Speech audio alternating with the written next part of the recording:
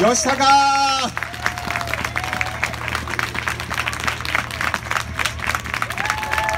大きな拍手を、